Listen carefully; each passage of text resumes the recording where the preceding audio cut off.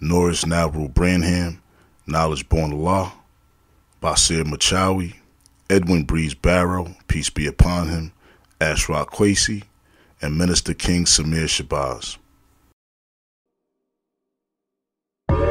Peace, family.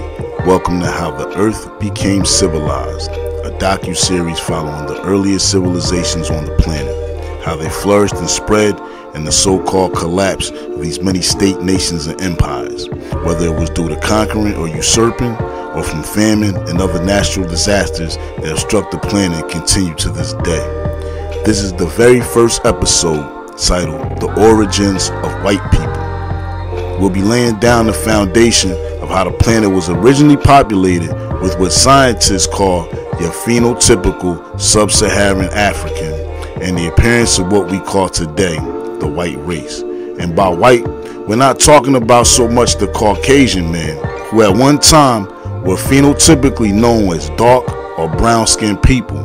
But where and how did this phenotypical European white man, as we know today, come about? I've done a lot of extensive research on this subject, but as you can see, I kept this presentation short. So, in a lot of cases, I might not have shown you the long division, so to say, but you can look at this piece of work like Cliff Notes or a protein bar. It might not be the full course meal, but it still has enough essential vitamins and minerals needed. Now, you may often hear me say scientists say or scientists claim.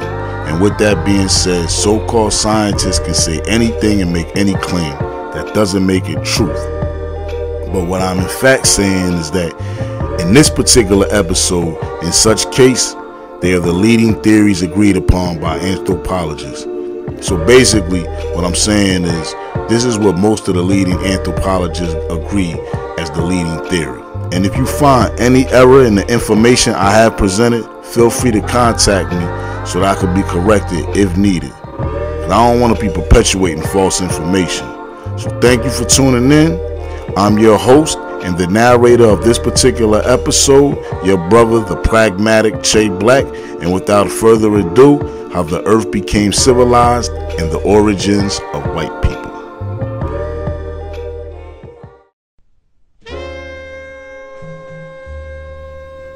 These are the Batwa people, also known as the Twa and commonly mistakenly called the Pygmies of the Rwenzori Mountains, modern day Uganda, Africa.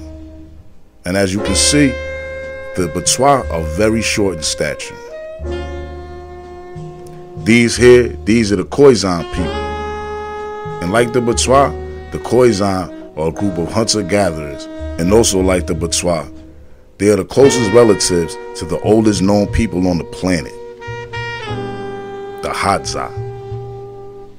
The Hadza people of modern-day Botswana, Africa, share the oldest known lineage on the planet. Scientists claim that these are the first modern people to ever walk the face of the earth. They're the descendants of the first modern man. So basically, if there was an Adam, this is what he looked like.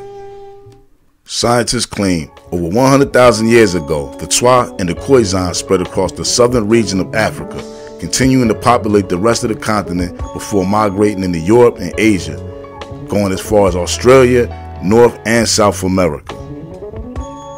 Starting in the region of South Africa, leaving behind some of the oldest known architecture on the planet. This is Adam's calendar, South Africa. It dates back 75,000 years ago, the oldest known mason work on the planet. They introduced humanity to mathematics and the first alphabet system. They traveled down the Nile in the Sudan, Ethiopia, and Egypt, establishing what would be known as the Nile Valley civilizations. They stretched into the western parts of Africa. There you see the ruins of the ancient Nok civilization. They headed north, establishing the Mediterranean coastal state of Morocco. Look at these ancient buildings right here. Look at that. You see this city? That look like it could be somewhere in New York right now, fam. They crossed over into Europe, establishing civilizations leaving behind the oldest known architectural structures in Europe. And not just Europe, but some of the oldest known monuments on the planet. This is modern day United Kingdom, Ireland. Look at the little people carved in stone. Remember the Twa people? Well, I'm sure you're familiar with the story of the leprechaun and his pot of gold. Well, then. Let's continue. They traveled through the Middle East, branching off into the subcontinent of India and settling further into Asia, leaving behind their unique architectural footprint everywhere they went. You see the pyramids, family? That's China right here. Let's continue. They traveled the whole South Pacific. Here we are in Cambodia. Notice the artistic craftsmanship. These are some of the oldest monuments on the planet Earth, family. They headed down under in Australia. And the people who built these structures are still here today. They're known as the Aboriginal people of Australia. Scientists claim that these are some of the oldest modern people on the planet with a direct connection to the Khoisan people, with their DNA becoming isolated while alone in Australia for thousands of years. They came all the way up into North America, establishing great civilizations that consisted of federations and trade unions. These are the ruins of advanced civilizations right here in North America. This is Mesa Verde, Colorado right here in our own backyard, fam. Some of these some of these structures going back 3,500 years, 4,000 years ago. You see, you see some of the architecture structures still standing all throughout North and Central America. And of course, of course they made their way into South America. And there you see the same architectural structure. You see that same unique architectural footprint. There you go again. You see them pyramids. Anytime you see a pyramid, you know what time it is, fam. These were black people traveling the planet, and they didn't just leave behind similar architectural structures. They left behind stamped symbols of a shared expression. One being the most revered symbol was that of the serpent. Here in ancient Sumer, you see the, the Sumerians' depiction of the serpent gods. There you see it again on the headdress of the Pharaoh, or in the Nasut as they would have called him the Kemet. You see the two snakes, there you see them again. This is Ireland. They scared of snakes. All they stories, snakes are wicked or some type of evil deity. They scared of snakes. They scared of them serpents because them serpents represent us. And now they got you scared of snakes. They got you scared of your damn self. You all shook of the serpents. But that was who we are. The snake, the serpent people. You see it. You see it in India. Here we are again in Australia. You see the snake-like serpent creature carved in stone thousands of years ago. And here we are in South America. That's Quetzalcoatl, fam.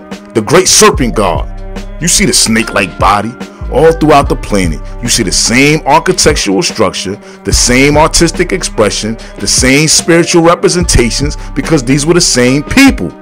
And if that's still not enough for you, Let's see what these Europeans, the first Europeans who came to this so called New World, had to say. Remember this guy? The world's most celebrated, homicidal, homosexual, murderous, maniac monster, Christopher Columbus wrote in his journal the native Indians told him black skinned people came from the southeast on boats trading in gold tipped spears.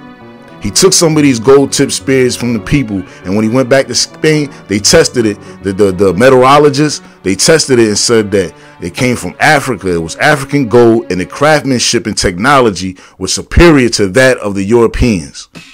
This is what they said. Look at this old dirty, drunken ass pirate, Vasco Nunez de Balboa he stated that he saw Negroes throughout the Caribbean island as well as the coasts and inlands of South America.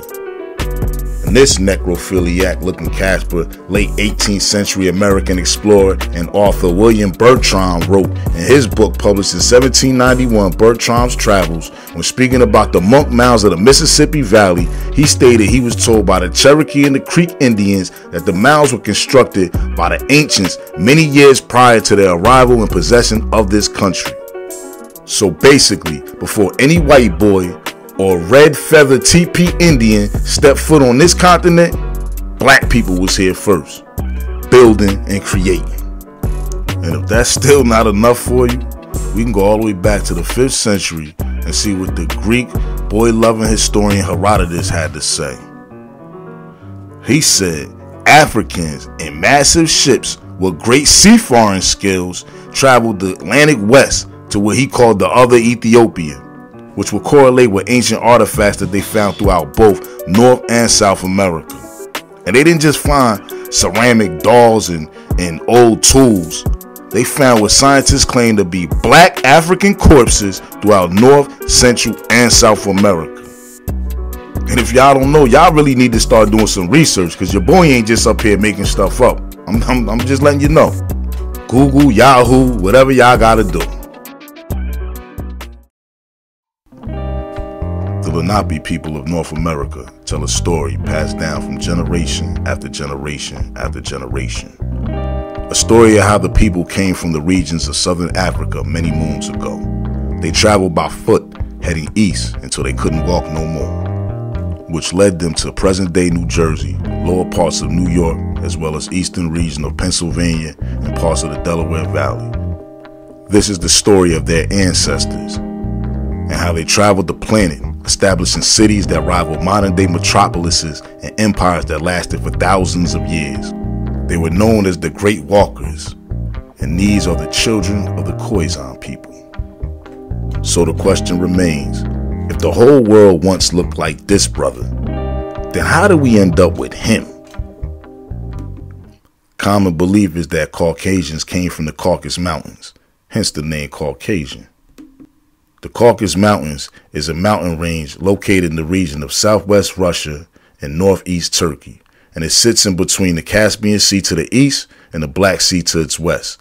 It's not just the mountain range that separates Turkey from Russia, but along with the Ural Mountains in the north, it's also the border between the peninsula of Asia, what we now know as Europe, and the rest of the continent of Asia itself. Remember that great migration that took place 100,000 some odd years ago? Well, scientists claim that some of these same Africans traveled all the way up into the Ural Mountains of modern day Russia and during that time, while they were up there, they got caught in the last ice age. And after being trapped in the ice for thousands of years, they reemerged 26,000 years ago out of the Ural Mountains in modern day Russia, entering in what is present day Iran.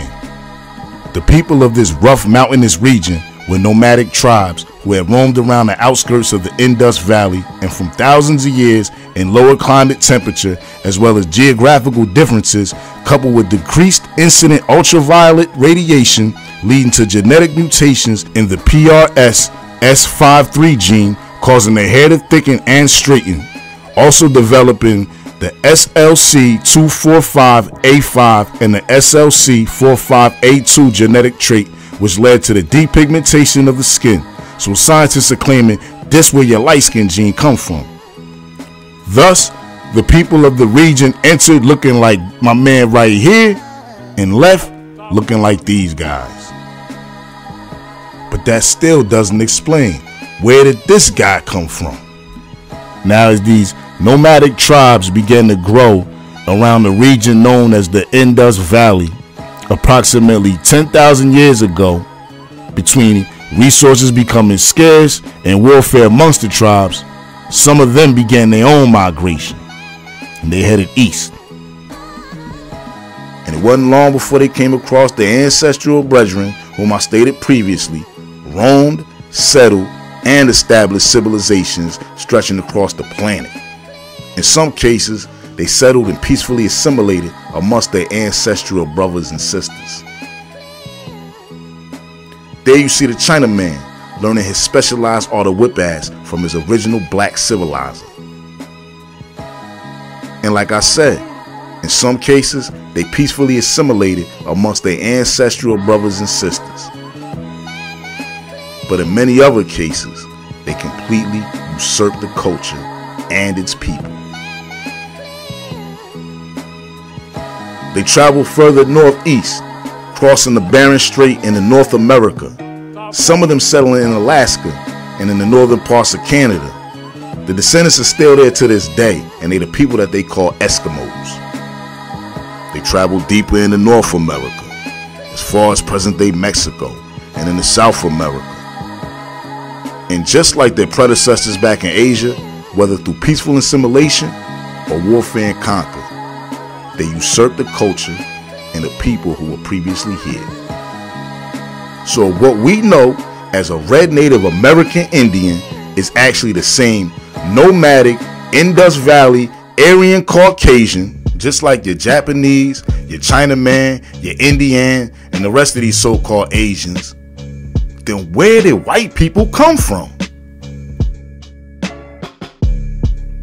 Which takes us back to the Indus Valley, approximately 8,000 years ago. The nomadic Indus Valley tribes of Caucasians, known as the Yamnaya and the Anatolia, would also migrate west, bringing what would become known as Indo European culture into the peninsula of Asia, as they now refer to as Europe. And when they arrived, these nomadic Indus Valley Aryan Caucasians came into contact with a Scandinavian tribe of Nordics in the northern part of Europe who had been there for thousands of years prior in the Norwegian region. These Scandinavian tribes of Nordics also held the SLC 245A5 and the SLC 45A2 gene, as well as the mutation that scientists say occurred affecting the OCA2 gene, which affects the production of melanin, ultimately affecting the color of skin, eyes, and hair. So these Scandinavian tribes of people not only had pale skin, but blonde hair and blue eyes. Not to mention, there was still a couple of these jokers floating around. And well, you know how that go. Some people, they just don't care. So, as these nomadic Indus Valley Aryan Caucasians settle into Europe, bringing with them their Indo European culture and interacted with these people, who scientists claim are mutated Africans, which, although a very problematic claim, we'll save that debate for another day. Anyhow, they say mutated Africans who were trapped in northern Europe during the last ice age for thousands of years and reemerged in the Norwegian area approximately 12,000 BC. So effectively, turning these people, the Aryan Caucasians from the Indus Valley, into this, and this, and this, and ultimately these guys. And there you have it, the origins of white people and how black people, who scientists claim came from Africa, traveled the planet, cultivating land, building highly advanced civilizations, states, and empires with a shared artistic expression and a distinctive architectural fingerprint. Images carved in stone meant to last the test of time, emphatically stating who these people were. Undisputable, irrefutable proof that they were, in fact, black people. You see, your ancestors, they were gods. And like gods, they saw into the future. They knew there'd be a day where you'd be lost from your own tongue, unable to recognize your own language, let alone read or write it. So they told you stories with images, images in stone. They say a picture speaks a thousand words, but these speak billions, telling millions of stories carved straight from the hands of your ancestors. Machu Picchu, Peru, the lost city. Imagine what this once looked like in its full splendor and glory. Tenochtitlan, Mexico. Imagine what Hernan Cortez saw when he arrived here in the 16th century. Just imagine. Imagine what this looked like. Look at the architectural structure. Look at the look at the infrastructure. You see the pyramids. Whether Mexico, Egypt, China, Russia, and if there's a pyramid on Mars, then goddamn it, black people built that too. We had advanced pre-Columbian civilizations right here in North America, established and built by black people. The first man-made architecture on the continent, built by our ancestors. So the question then becomes, if black people didn't just travel the continent before Columbus, but were in fact the first settlers of this land, building some of the oldest advanced civilizations on the planet, what happened to these people?